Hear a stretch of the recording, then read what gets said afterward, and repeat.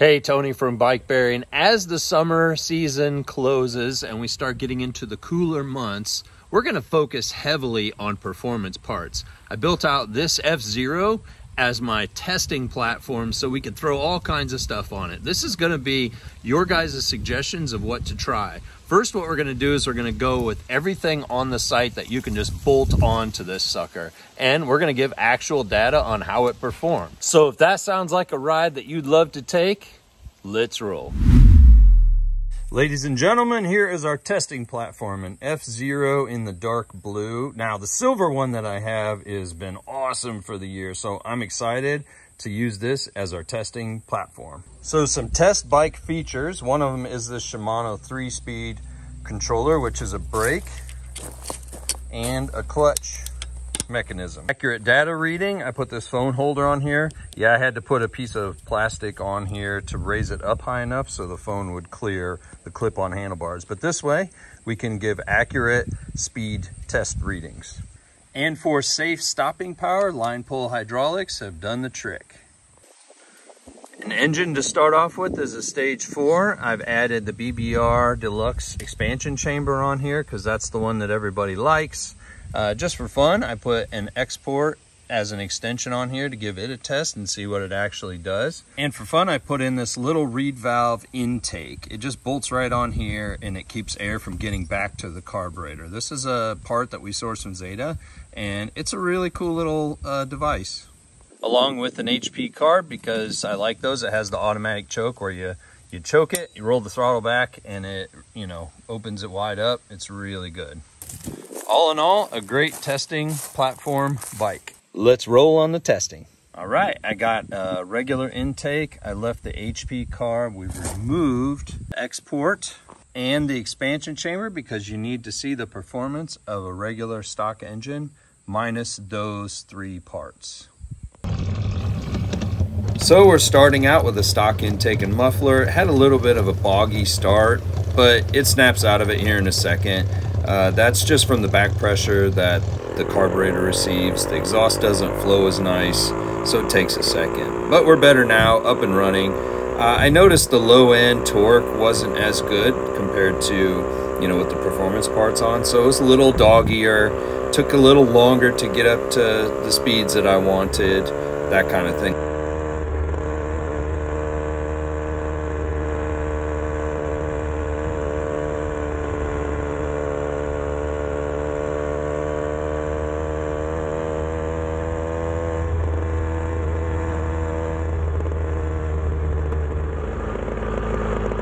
Okay, so I'm adjusting the idle here because it was just idling way too high.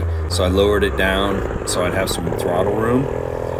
So what we're gonna do on this stretch of the road, this is the main road uh, outside the lane from my house. And what we're doing is we are giving it time to warm up with a little bit higher speed. You're gonna see I'm gonna hit almost 30 here. I'm just trying to give it good warm up time.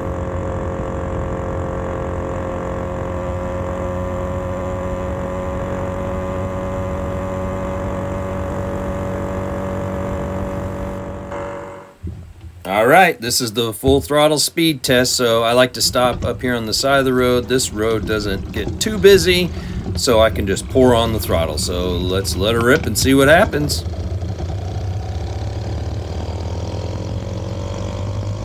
Looks like things are good. We're climbing. Climbing, climbing. This is a good flat road also. That's why it's so good.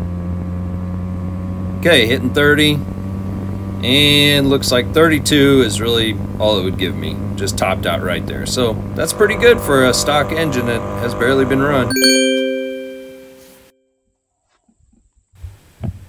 All right so now we got the deluxe exhaust on X-Port and that little reed intake. Right away it runs smoother. Of course it's got that poppy sound but low end torque is great.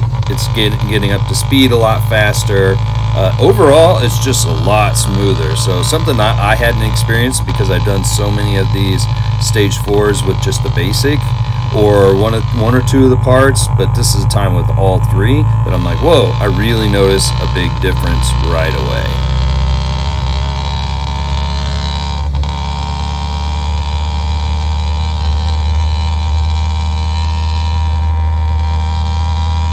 On this stretch of road, it just seems to perform really well. Consistently. I would say that's the best thing is there's consistency. So going, yep. We're going to come up to a curve here and then we go down that hill. It just, man, it just rode really well.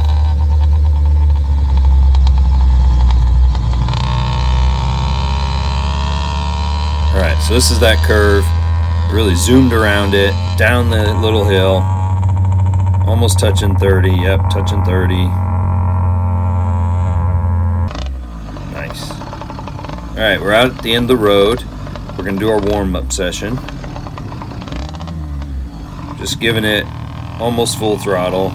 Remember, this is a new engine, so it's going to get increased RPMs the more I break it in. Nice climb, good warm up. Yep, touching 30 right here. Yep. All right, moment of truth right now.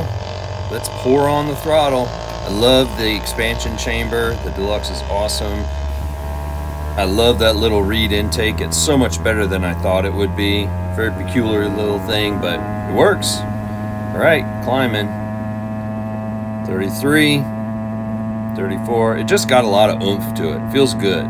Good acceleration. 35. Again, new engine. 36. All right, that's where we top out at. Pretty awesome. Good job. Right, that was a pretty fun test. So let's go over each engine configuration. Now, keep in mind, this is a brand new engine. I barely run even one tank of gas through it. I didn't do any port cleanup or anything like that. So really, it's a brand new engine. So these results will only increase over time. It'll get faster. So I expect it to reach another five to eight miles per hour faster by the time I break it in.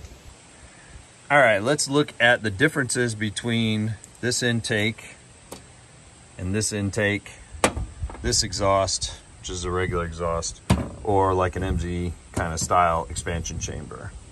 So with this intake, I noticed like air going back and forth and making the carb not run as smoothly. And I had to mess with the adjustment as you saw in the video.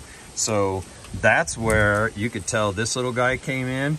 It really keeps air from going back in the carburetor. And honestly, it ran smooth out of the box. So when I hooked this intake in there, this carburetor, I really didn't even have to adjust the screw on the side. It ran smooth right away. So I think this is an important piece for getting an engine to run smooth right out of the box if you're gonna run a basic 6680cc engine.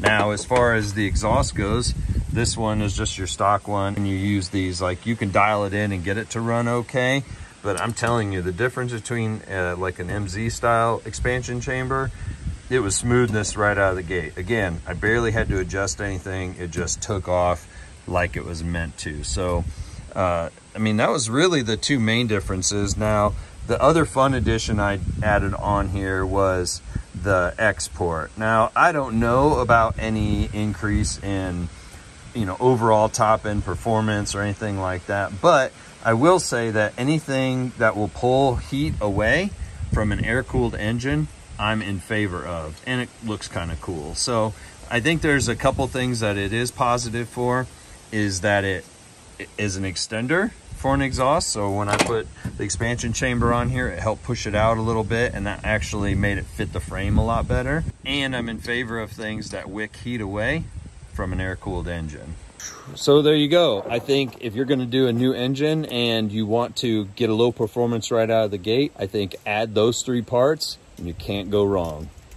I hope you liked this video. Like it, subscribe, comment below with any of your thoughts on new engines and what are the best upgrades that you guys think because we want to test them. We're going to do that throughout this whole rest of the year. Literal.